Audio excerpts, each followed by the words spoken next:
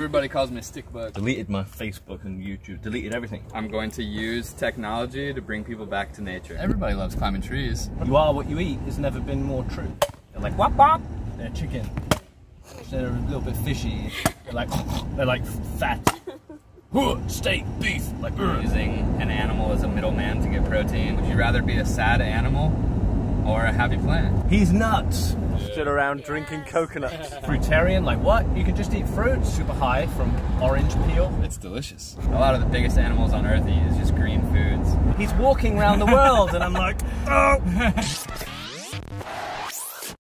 So you climbed up a tree and just got these. No, I didn't get these. I have a family that gets them and sells them at the uh, flea market. Do they stay better if they're still on the branch or something? Or that's just Um, Easier to carry. yeah. Yeah, it's easier to carry, and then you can tell they're fresh because when they're getting kind of old, they'll fall off. But yeah, they're solid. I love these.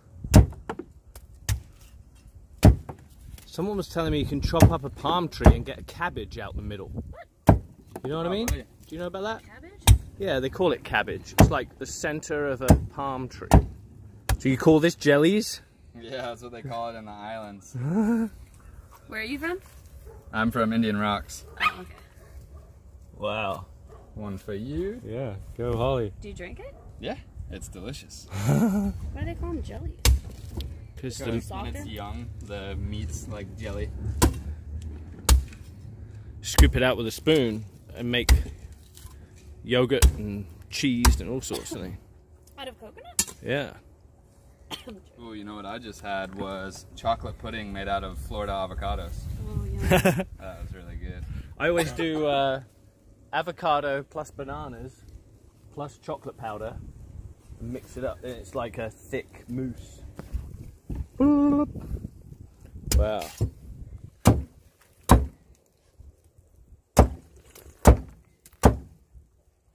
He's met the big buddies. ah, Yeah. I want to say hi to your pups too. Wow, you could just tell that's like super hydrated. Best water there is, man. I saw some trees right by the house we were at, by Jack's house, loaded with some coconuts. I want to go knock on their door, see if I can snag some local ones. Mm. Do you want some coconut? I don't think coconut's bad for dogs. No, it's only No. it's avocado that's bad. Things that are bad for dogs, but Can I say hi to your pup? yeah. How's your day been? I love how friendly this guy is. Can I say how do you How's your day? I'm bad at asking questions. I know. Lots got them all riled up. How's your day? How you doing? Make some new Hey buddies! Hi! See you later! They're just smiling like, hey! I feel like a real Florida jungle person now. We're all Yeah. stood around drinking coconuts like it's nothing, just like, yeah, So good.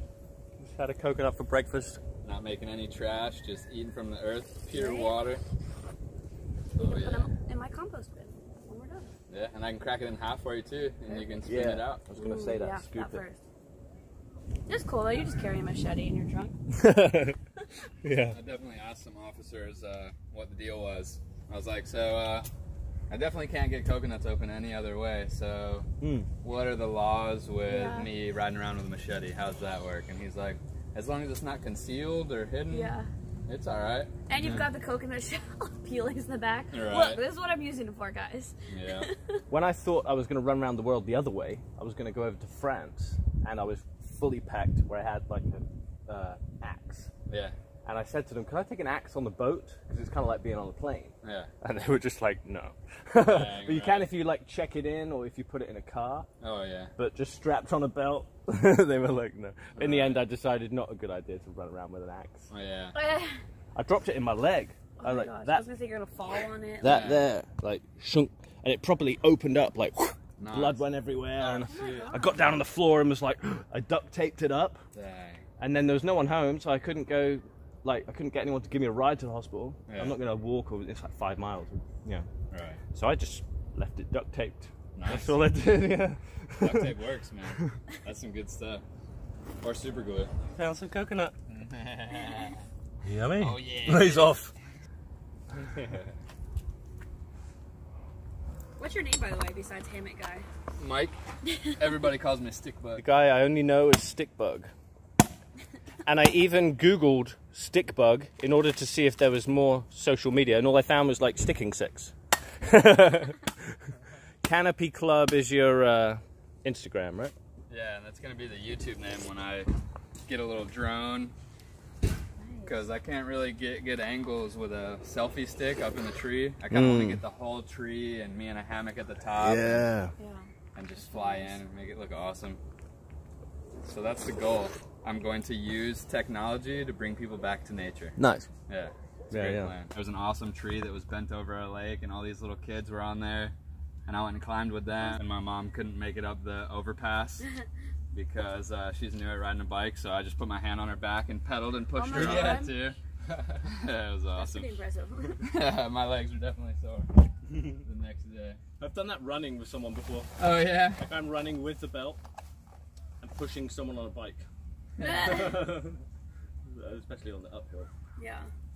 And then running, you have to make sure you don't go too fast. Yeah, I, that's to me that's a thrill. Like that was my favorite thing. To It- I started to make the the mission to go to the top and then run back down Nice. and like find different ways down or different routes. But the, I never counted any miles or times. It was just get to the top and get back down. Don't get machete muddy.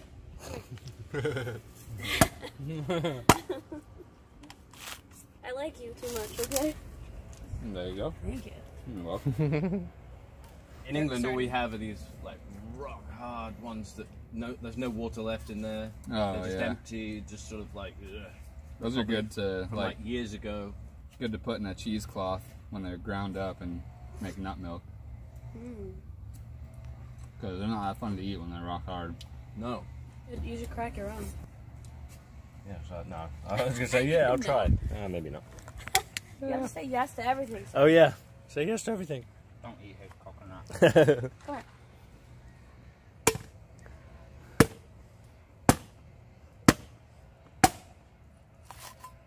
I've been dipping apple slices in almond butter Oh, lately. yum. you know what I was doing with uh, sweet potatoes? What? Make sweet potato toast. Put it in the toaster. And uh, make you know thin slices, and then put almond butter on it, or Nice. jam, like jelly, like whatever Sounds you would do with toast. It's just a gluten-free version of toast. Right. I got some pretty awesome gluten-free coconut Your crackers. toast hard enough to be able to eat it like that. You have to toast it like two or three times. Okay. I just made some awesome wraps with collard green leaves, Mm. and I put at the store I go to. They make this cashew cheese, which kind of tastes like nacho cheese. Yeah. So I put that on it with avocado, sprouts, and tomato, and it was just amazing. They also make these really cool coconut turmeric wraps at that store, so you can make some burritos and whew, superb, man. I've been doing lettuce banana wraps, real simple. Just you just wrap a banana in lettuce, but it's just a way of getting the lettuce down. You like, I can get through a whole lettuce Right? by just mixing it with the banana. Nice. Oh, cabbage is quite good. You know those purple cabbage. Mhm. Put stuff in there. Put like peanuts and raisins and yeah. Nice. Yeah, we're all scooping stuff. Before I was started like filming myself every day, Yeah. I took a break for about a year, had no phone, deleted my Facebook and YouTube, deleted everything.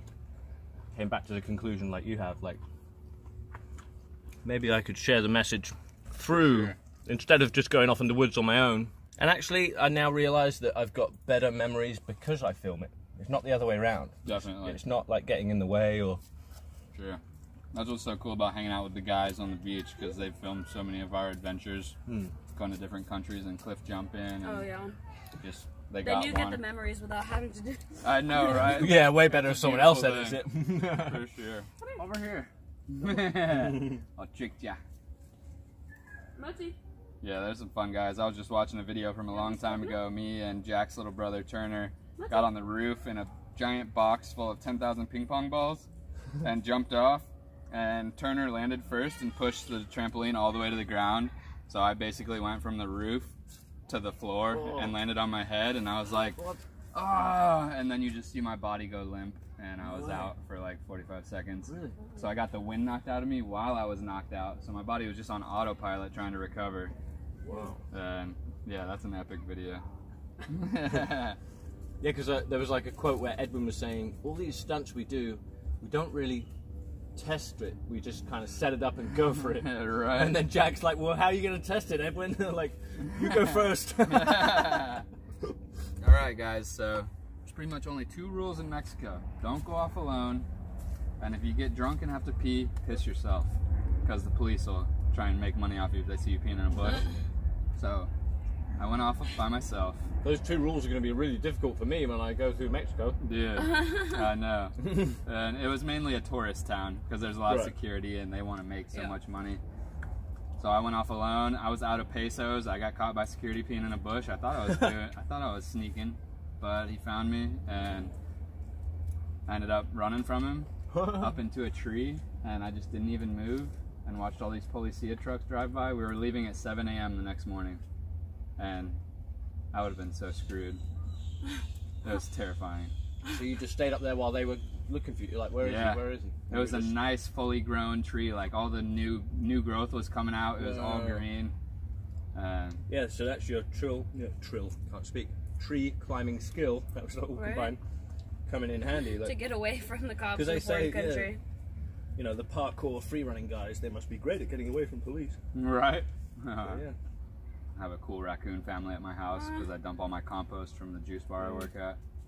They just had two little cubs about his size. yeah, I saw a photo with a raccoon with you up the tree. Yeah, it's so funny. You just like, He's just staring down, laying like Mowgli with all his oh, is it limbs. up? Mm, yeah, Raccoons are so cute. they are. How was the jelly man? jelly was good, huh? You couldn't do it without me. No Tongue way you can hanging get into that. You want another piece? Letty. It's funny when you point, dogs don't understand that. They just look at your finger. You, know, you try and point at something, I and feel like just eventually they get it. they think they're Because like showing mine, you. like, can be like, go to bed, and he like goes, you know. yeah. I think it's just like. I think it's the whole arm. Like, Yeah. if you just point, they think, Yeah. what do you have? like, what they do you look, have show for me your finger. What's on your finger? Did you eat it already? wow, you're fat. Uh, stick it up. After many years, I felt like change, and then I just decorated the inside. I didn't even look up. no one looks up. yeah, one of my friends had, you know those lights that you can push, like, boom, boom. Oh, exactly like that. you push it and it lights up. Yeah. He super glued like hundreds of them to his whole ceiling. Nice. So like you could push them into say funny things, or you know you could push a line of them, or push all different ways. That's awesome. I would like to get mood lights in here. Museum of Fine Arts. That's where we're headed. This is way cool. We're gonna go on a tour of all the best trees Stickbugs found. Your canopy club is gonna be your YouTube though. Yeah, I'm stoked. It's an awesome idea, and I love climbing trees, and it'll be so fun to just climb trees with a bunch of kids. And Do you know what you're gonna film on? Like how? Because I've gone for years with all these different cameras and laptop editing, and by far the best way of doing it now I've realised is the phone. so Film with the phone, edit on the phone. I didn't have a cell phone for seven years, and I just recently got one. I think it was about a year and a half ago because I wanted to start getting into this Instagram and showing what I love to do to everyone else. Yeah. Because everybody loves climbing trees. Right. I mean, it's a beautiful natural playground. Got threatened to be trespassed for two years because I was hammocking so high, like 60 feet up in it, and these people called the police, and they got super upset for some reason. I'm just like, dude, I'm just up in a tree, man. Yeah. It's not a big deal. But They seem the the whole trespassing concept seems very popular here, even to the point where I've started to make like a compilation of trespassing signs, trespassing, trespassing, Right. dancing in front of them, like making fun of like the whole concept of right, like we own this land. I always know. thought this like the illusion of ownership, right, because the true owner of something is the one who's there the most. yeah, Like if I have a swimming pool or something, but I never jump in it, right, but the next door neighbor jumps in my yard and goes in the pool like every day. Really, it's their pool. I just feel like we inherit the earth too. Yeah. Like this is all ours. It, I don't even really like fences, honestly. I mean, I get privacy, but Yeah. I have a bunch of cracks in my fence to let all the animals through and let all the stray cats. yeah, it's fun. Did I acknowledge you? Like, did I wave or do something It was silly? me and my mom driving by, and we oh, looked you were at just you. driving? We were just talking about what could you be carrying. Wondering what was going on, and then I think it was the next day, you were at Jack's house, and I was Right. like, "What a coincidence! That's awesome. it's meant to be." You know? And it's cool that you saw me running too, not walking, because I hate that when people are like, he's walking around the world, and I'm like, oh. Yeah, it was right by the juice bar I work at that you were jogging by. I was gonna bring you a juice, but I forgot, man. Are you into fruit worry. juices? Yeah, of course. I had a juicer too. I left that one in Spain. Juices are awesome. Yeah. We just made. Uh, what did I have? It's like red peppers, carrots, and thought uh, to juice peppers, but they're really high in vitamin C. yeah, they're a great flavor too. Yeah. And uh, tangerines with cayenne pepper, and oh my gosh. Did you know there's a way to get super high from orange peel? Oh really? Yeah. Oh. There's something in there called D-limonene, and I discovered this in, in the most like surprising way because I was living in Spain in the orange orchards, like sleeping there, getting the tr- uh, getting the oranges off the ground, so I Yeah. felt like I'm not stealing them, and also the whole orchard's abandoned, so no one's spraying them or anything. You know, Nice. there's no one there. So I'm just like juicing. I've got a wind-up juicer, so I haven't got to power it. Yeah. So I'm winding it up, and eventually my fingers were getting like stinging from peeling them all the time. So I'm like, I'm just not going to peel them. Yeah. I'll just put the oranges in with the peel on, and it's like really bitter, and lemons too, Right. really bitter, but it just seemed easier. And then within about 30 to 45 minutes, just some strange feeling came over me, like the best way I can describe it, it's a bit like mushrooms and MDMA or something like it. Oh, but I, I thought like, oh no, I panicked for a bit. I thought I was dying because my vision was going weird, and you know, I, I was like pooping, like you know, all this diarrhea. But actually, I thought I feel good. I'm not puking it back up. Yeah. And after the sort of initial anxiety, I was like, this is how they find him, dead on the ground, like he juiced the orange peel, like no. and then Oh, I man. and I kind of came to the conclusion like nature wouldn't wrap a nice, you know, succulent, juicy fruit in a poisonous peel. Right. So maybe this is beneficial. And then I was like, I had such an amazing day. Like, music sounded better, the world looked more awesome, and I felt like all these thoughts were coming to me, like uh, almost like the, the plants were talking to me, like the intelligence of the oranges or whatever. Oh yeah. So that's where I went home and did the research. And it's D-limonene is a um, citrus peel element which sort of eradicates any like parasites or any bad stuff going on in the body. So you Oh, like that's- elevates your yeah elevates your being. I can't even barely describe it. That's and awesome. Very few people seem to really know about it. I wonder if it's like been hidden, like hidden wisdom, you know? Right. And all plants are teacher plants. I feel like some are just more powerful than others. Right. But every plant we eat, I feel like can Yeah. just bring our vibes up a certain level. Well, the oranges will teach you to not be anxious, to have a really fun time, and it's a perfect like party drink. I've been to festivals drinking this orange sludge, and it's really thick, Yeah. Is an appeal. And I would say somewhere between like 10 or 15, you know, citrus items with the peel, you'll definitely feel it. Oh, Like, if you did only five, you wouldn't notice. Yeah. But at that volume, I'm there at the festival drinking it, someone's like, "What is that paint?" Because it looks like like thick Right. paint. And uh, yeah, have a great time. And you feel better and better. It's like you're detoxing and you're high, and then you can do it again the next day. And I would mix it like oranges, then watermelon, then oranges, then. That's awesome. I was just looking at this girl yesterday watching one of her videos, this chick Skylife on YouTube. She does all these different just uh, natural natural things to work on your body, but this one was uh, trippy breath work where you Oh, could yeah. get psychedelic just by the way you breathe. Mhm. And that was really interesting, man. I feel like we're so powerful without anything that we can Yeah. we can make our bodies do anything we want, essentially. Yeah, is it called tropo something breathing? Troposcopic? I don't know the word. I, I think so. Something like that. But yeah, Cool to be crossing the water. We're crossing over. You ever do any cliff jumping? Uh, not really. Not. I'm trying to think. Have I ever done? It's a good question. No. I'm like, I guess I haven't. Not even a small. I'm trying to think. Surely I've jumped off a small thing. Like, you know, the height of a few cars high or something. Yeah. But even that, I can't think of anywhere specific where I can claim that I have. It's so fun. Just anything jumping off into water. I is so suppose we used to jump into the lake. I had like BMX, and we would jump out the trees, Nice. but not off of a cliff. Yeah, I love tree jumping too because there's not many cliffs in Florida. But we go to the rivers a lot. And there's huge trees, like 50 feet high. There's an awesome place called Bob's River, and this guy homesteaded his property. He built 30 foot high tree houses on the riverbank, and you jump or you swing out on massive rope swings and get hucked. And it's the most amazing experience ever. Like, I think I saw the. Is that the video on your one of your Instagrams? You're swinging out. Yeah. Or you're jumping out. oh man, that place is wild. The main thing with cliff diving, people don't realize, is that a lot of work goes into that beforehand to swim down and make sure there's nothing there. Yeah, I know. Some people have no clue to check the depth. Yeah, they don't know to check. Like that just seems so, you know, there could be- foundational to me. Like There could be rocks, broken branches, Yeah, I yeah. mean anything, and you don't want to land on that going yeah. 40 feet high full speed. Even when we did the BMX thing into the lake, we left the ramp there, and some, you know, stupid kids they'll show up and get drunk or whatever, and they threw the ramp in the in the water. So when we got back, we didn't know it's in there. We're like, "Where's the ramp?" Shit.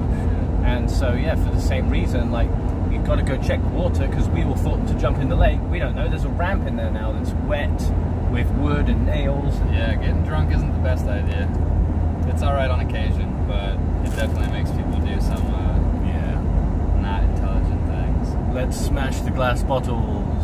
All right. Great. Yeah, at the lake where everyone's jumping in. Yeah, but all we can do is lead by example, man. Yeah. try and show them what they should be like. I was just having a conversation about how there's the whole meat eater versus vegan kind of battle, and it's not too friendly. And I was like, man, you know, all we can do is lead by example, Yeah. you know, and show everyone how good we feel Right. and how beneficial it is to the planet, and by not using an animal as a middleman to get protein. Yeah. Yeah. Be the uh, be the example and the eye candy and the inspiration. Right. and because I feel like with me with these videos, there's enough um, talking about the problem. Like I could insert here some slaughterhouse videos, or you know, show people all the negative stuff. But instead of focusing on the negative on the problem, Yeah. I tend to focus on the solution and the benefits. Right. You know, sure. it's like like we said about the tree climbing, like 80% fun times, Yeah. 20% getting kicked out Right. but let's not focus on the 20%.